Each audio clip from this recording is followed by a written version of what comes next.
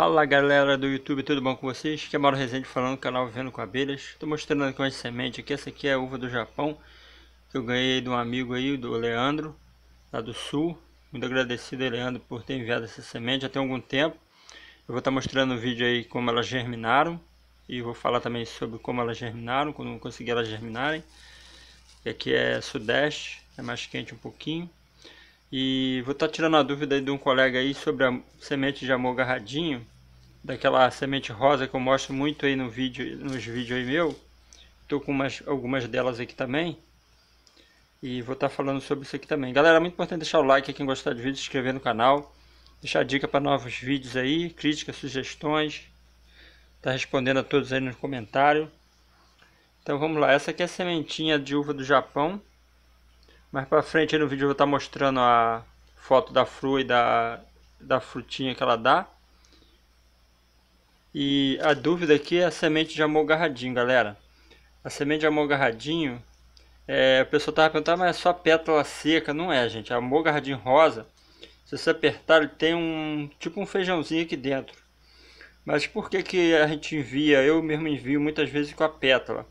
Porque essa pétala, quando você coloca no solo, ela conserva a umidade e faz germinar mais fácil. Se você tirar a pétala, praticamente você perde 50% do poder de germinação dela. Mas eu vou tirar aqui para mostrar para vocês, ó. Vou estar tá tirando as pétalas aqui, ó. Vou separar aqui. Vou estar tá mostrando o que tem dentro da, dentro da flor aqui, da almogarradinha aí. Esse carocinho duro aqui, ó. Viram aí? Mostrar mais uma vez. Então ele é bem duro. Não dá para quebrar fácil. Se ele tiver mole quebrando fácil é porque ele não tá bom. Ele, fica, ele é branquinho por dentro. vou abrir para vocês verem. Olha como é que ele é por dentro. Olha esse branquinho é sinal que ele tá ação. Ó. É o amor garradinho rosa. Ele tá branquinho por dentro, é sinal que ele tá ação. Ó. Se ele tiver todo escuro por dentro, sinal que a semente não tão boa. Essas que eu envio estão todas assim, ó, branquinha por dentro. Sinal que vai germinar. Mas eu tenho outros vídeos aí de dica de como plantar ele. Então você acompanha as dicas dos outros vídeos aí. Mas o, o, o segredo é pequeno, é só se plantar com a semente, com as pétalas, plantar a semente com as pétalas, não tirar, enterrar mais ou menos um centímetro, um e meio, dois centímetros, e manter sempre o solo úmido e a sombra. Porque no sol quente geralmente ele vai germinar e logo vai secar, você nem vai ver. E tá irrigando sempre, que na sombra é mais difícil da água secar. E quando nascer também você deixar um bom tempo na sombra.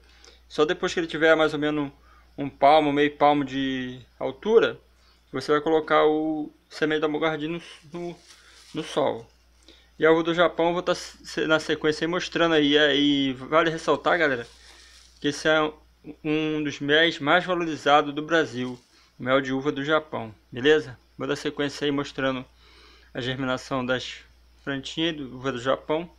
Mais uma vez eu peço aí que não esqueçam de deixar o like em gostar do vídeo, se inscrever no canal, compartilhar, comentar aí, dúvidas, sugestões, críticas são sempre bem-vindas, eu respondo sempre a todos. E vamos na sequência aí como germinaram essas sementinhas aqui pequenininhas sementinhas aqui pequenininhas de uva do Japão. Parece uma varroazinha, né? Mas não é. É uma semente de uva do Japão.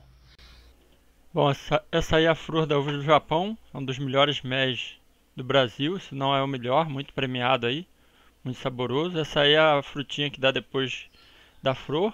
Até uma frutinha gostosinha. E agora eu vou estar mostrando aí as sementinhas como germinaram. Demoraram bastante, tive que irrigar bastante aí. Todo dia irrigar na sombra. Temos aí que nasceu duas, três. Eu plantei cinco a seis em cada potinho desse. Temos aí que são maiores, acho que é por causa da terra. Elas gostaram muito da terra vermelha aqui. A terra do Bada ela ficou até menor um pouquinho. Parece que a terra daqui elas gostaram. E a terra do Bada não ficou tão grande. Bom, galera, esse foi o vídeo de hoje. Espero que tenham gostado. Até a próxima, galera. Fiquem na paz.